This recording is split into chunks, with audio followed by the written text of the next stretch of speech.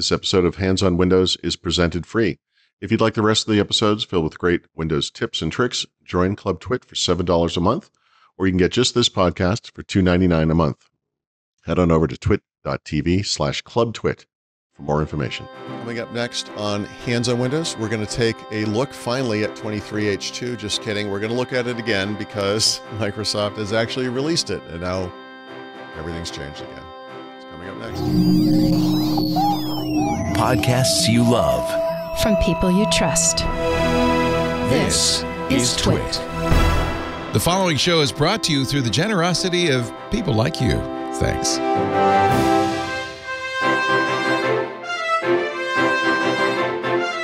Hello, everybody, and welcome back to Hands on Windows. I'm Thurrott. And this week we're going to talk about the final shipping release of Windows 11 version 23H2. I know we've talked about this a lot, and in a recent episode we talked about how you could get this release ahead of time, but since then Microsoft has actually released the product. And uh, that came about a month earlier than I expected, for sure. It arrived on October 31st, 2023, which is Halloween. Perfect.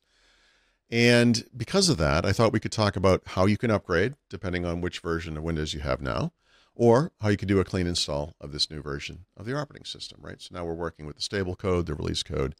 Uh, things are different. Of course, they are. If you're lucky, and depending on the timing, uh, based on when this video comes out or when you might see it, hopefully Windows 11 23H2 will just be broadly available. If so, the best way to get it is through Windows Update.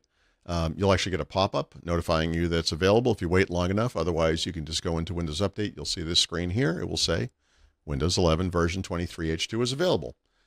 You really, really want to see that. this is the best way to do it. It's uh, super fast. It's an enablement package. I think we talked about this. This is the EKB type of update. It happens very quickly. You do have to reboot, but you come up, everything's up and running.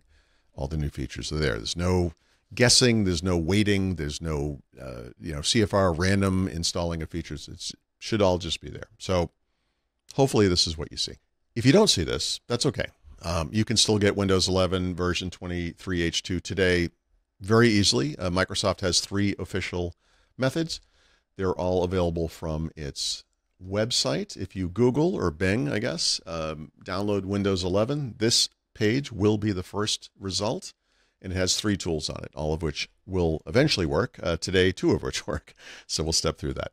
Um, the first is the Windows 11 Installation Assistant. This is the slowest and most tedious way to install or upgrade to Windows 11 version 23H2, but it's also the most reliable.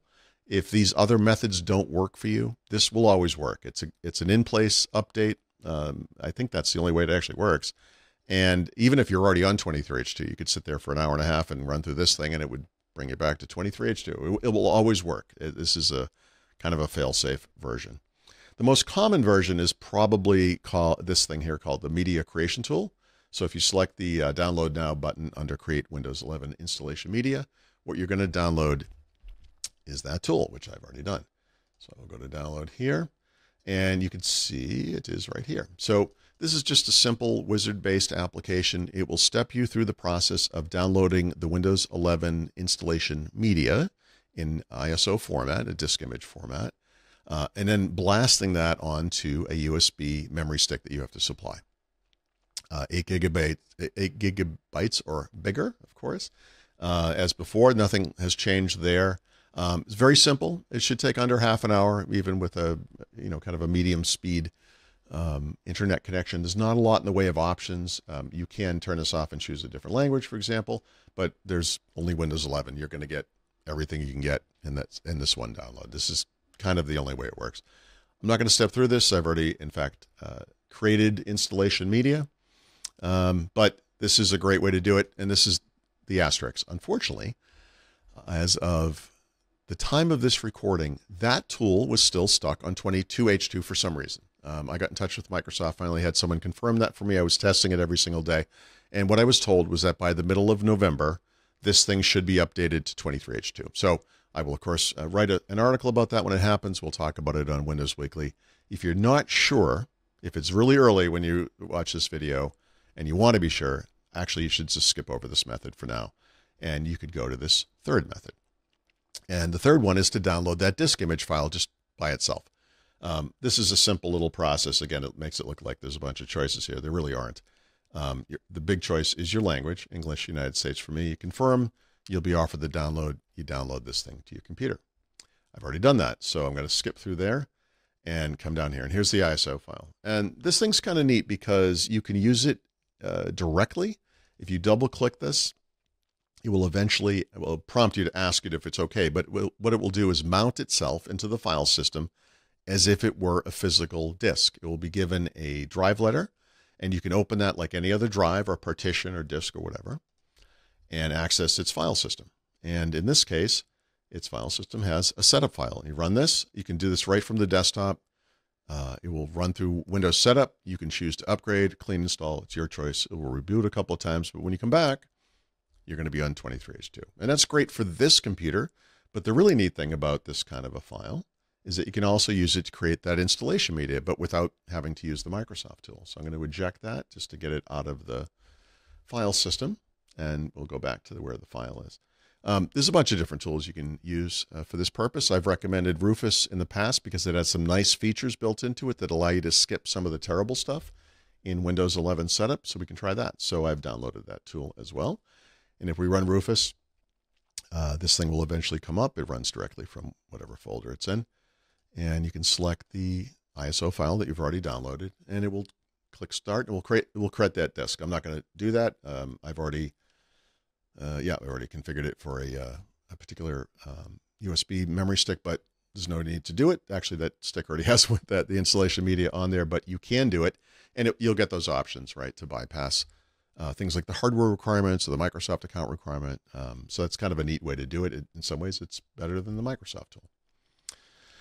So those are the big, I call them four, I guess four ways, right, uh, to get into this system. I just wanted to talk a little bit about some of the things you're going to see as you go through that installation or upgrade process. It hasn't changed too too much, but one of the things I did do was go back and confirm that all of the workarounds that I've published and we talked about in a prior video still work. So, for example, uh, if you're doing a clean install of this version of the operating system, you'll see this uh, first phase of Windows setup called the first boot experience. Um, one little tip is that you can choose a new time and currency format. I would choose English World because I'm English United States or English speaking. Um, there are other worlds in there. You can see an Esperanto world. There's a lot of them in there. I think there's an EU world. And what that does is cut down the amount of junk that it a offers you. Um, you know, PC Game Pass, Microsoft 365 subscriptions, etc.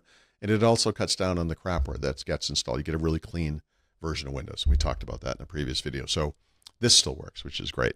Um, by default, uh, Windows 11 setup requires you to be connected to a network of some kind because it needs you to sign in with a Microsoft account. Um, if you don't want to do that, um, I don't know that we talked about this previously, but you can type Alt plus, I'm sorry, Shift plus F10, and it brings up this command prompt window, and you type the text that you see here, uh, OOBE, which is out of box experience, OOBE, slash bypass NRO, hit enter, computer reboots, and now there's no more network requirement and no MSA requirement. Um, if you don't want to go through that, it's actually as simple. You get to the screen where it asks you for your Microsoft account. Instead of your Microsoft account, type in no at thankyou.com. We talked about that in a previous video. That still works. And uh, again, don't forget about um, Rufus, right? Because you can use Rufus to bypass uh, all those things in setup as well.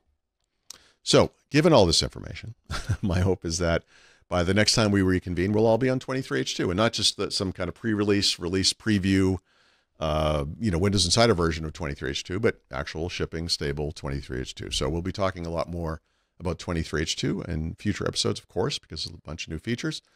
And um, that's going to be the baseline going forward, both here on the show and then in the Windows 11 field guide as well.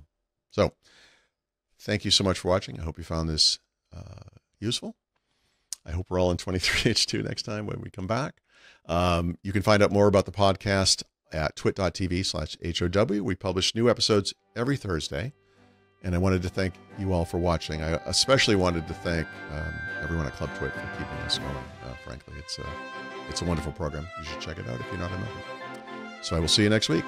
Thanks very much. Hey there, Scott Wilkinson here. In case you hadn't heard, Home Theater Geeks is back. Each week, I bring you the latest audio video news, tips and tricks to get the most out of your AV system, product reviews, and more. You can enjoy Home Theater Geeks only if you're a member of Club TWiT, which costs 7 bucks a month, or you can subscribe to Home Theater Geeks by itself for only $2.99 a month. I hope you'll join me for a weekly dose of home theater geekitude.